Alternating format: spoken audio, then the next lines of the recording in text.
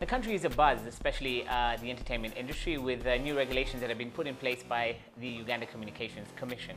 Today we find ourselves at the UCC to get a little in-depth conversation on what exactly these uh, regulations are and uh, what the effects of them are over the course of time that they've been set out.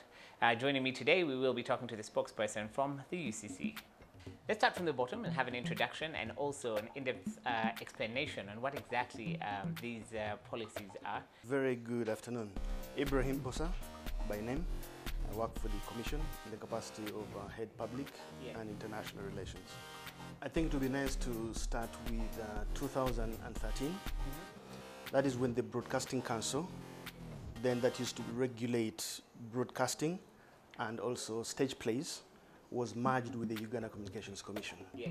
So the two entities were merged to come up with a new entity that retained the name, the Uganda Communications Commission, but with a new act of 2013. So most of the provisions you remember, uh, the Broadcasting Council used to run under the law called the Electronic Media Act. The provisions of that act were basically merged with the Uganda Communications Act, and the, media, the Electronic Media Act repealed.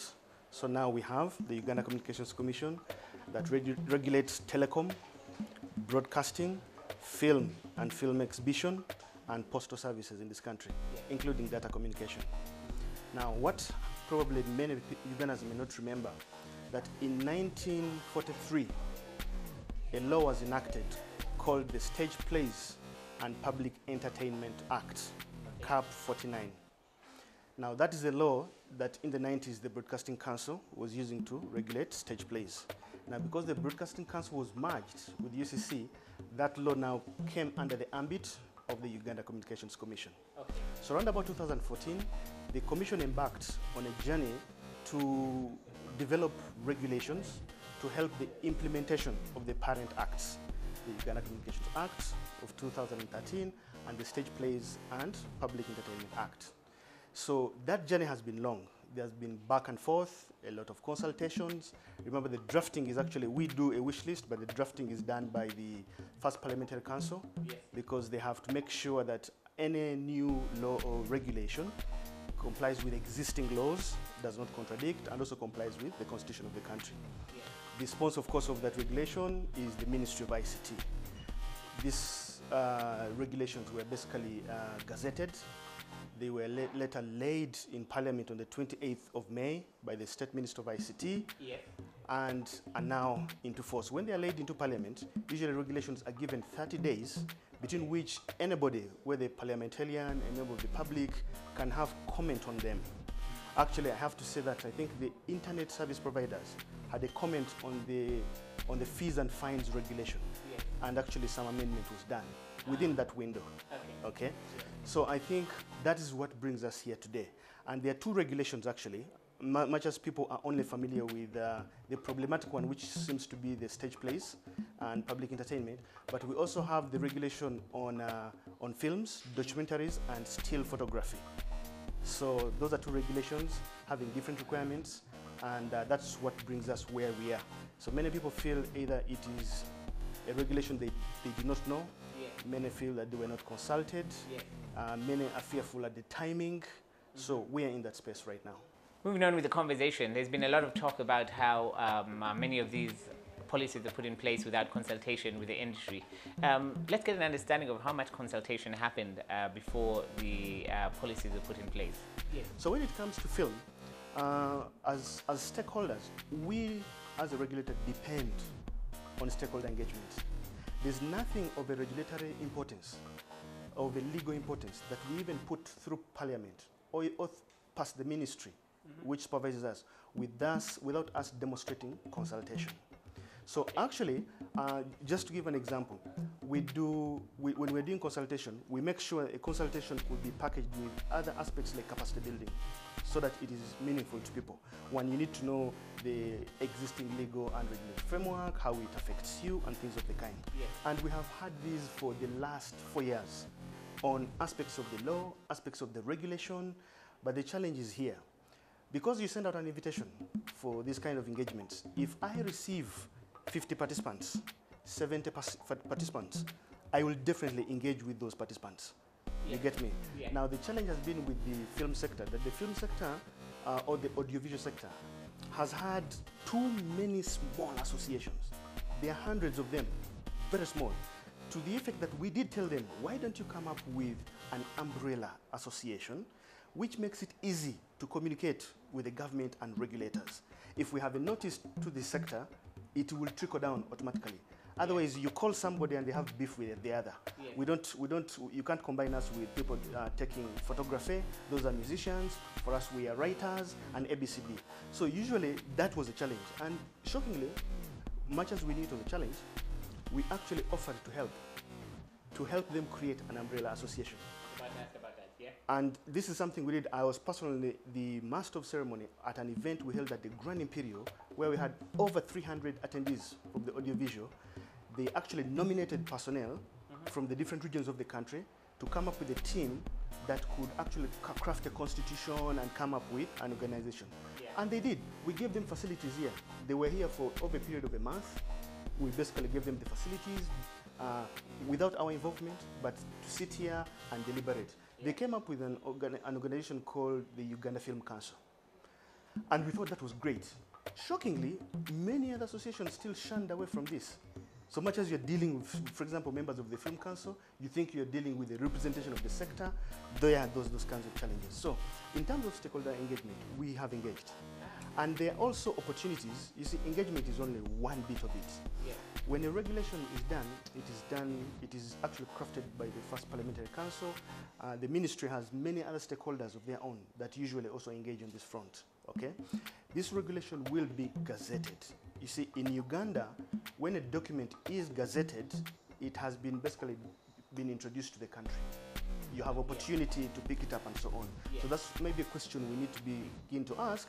Where has the small little leadership of the different associations been looking when something has been gazetted?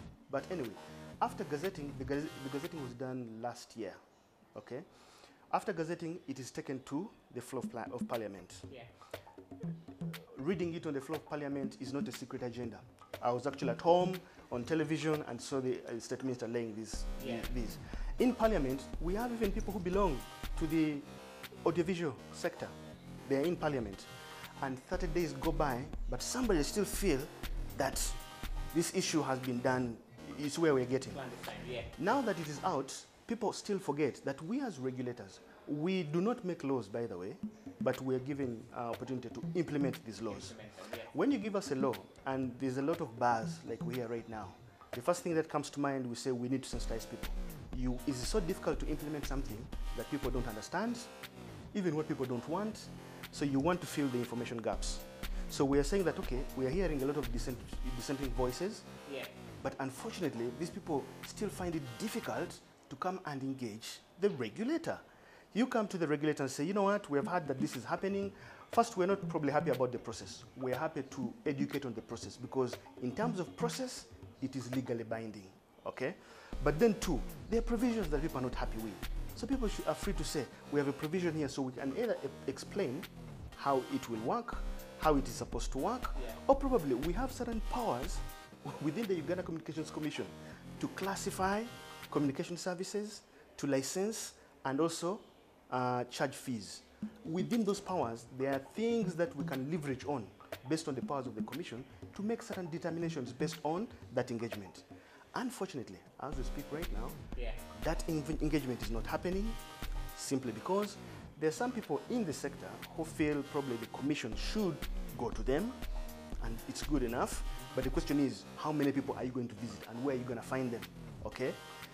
At least I, I'm able to have I've been informed that I think some people will be meeting the minister tomorrow. I think a cluster of the audiovisual will be meeting the minister tomorrow, which will be a very good start. So I'm thinking that even when these regulations are out, it is important for engagement so that we know what we're dealing with. For anything that is within the Commission's powers, we can do. For anything that we need to report back to our supervising entity, like the ministry, we will do.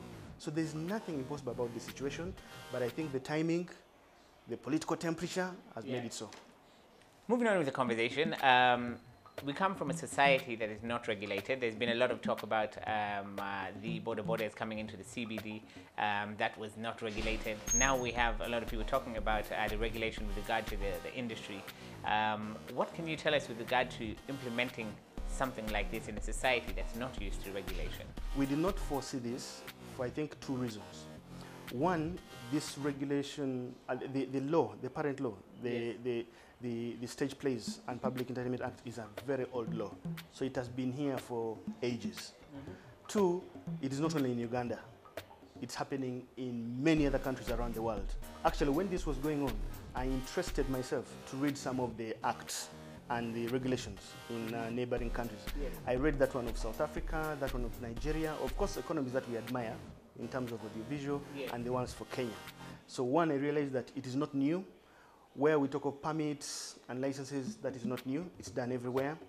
And uh, I was also remarkably struck by the similarity between the Stage Plays and Public Entertainment Act of Kenya and that of Uganda. In fact, the difference is that the one for Kenya is good, you should, you should Google it. It was amended 2012. It, it is remarkably similar, but it is even more stringent than that of Uganda. Just to give you just an example. Where here we say that you need a permit to produce a certain piece of content, and if you don't, of course, there are consequences. You could either pay a fine or you could um, uh, be imprisoned, I think, for six months, something like that. The Kenyan one says you need a permit, but if you are found engaging in this activity without a permit, one, the producer, the, the investor, whom they call the proprietor, the people acting in there, the person staging, if it's a, f- eh, it is a stage play, if it is a, a cinema for exhibition or ABCD, all those people are culpable under their law. So I said, okay, wow, this is interesting. But remember, Kenya is way advanced com- compared us, but they still have similar laws. So we thought that this is something that, uh, and today our our creative people have have traveled. They have probably made some of these things where they come. But I think the comfort that a regulation is coming and somebody now has to undertake certain obligations, some responsibility, yes, that could be a daunting aspect for the sector. And to wrap it up, some final words to uh, the viewers uh, with regard to what is going to be done at the end of it all. There's a lot of money being collected, but what happens to all of this in terms of building the actual industry?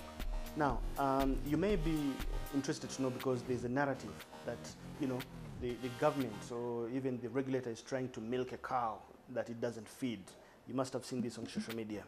But there are things that have been happening in the audiovisual space that may be not known to people, but even those who know, maybe they just ignore them.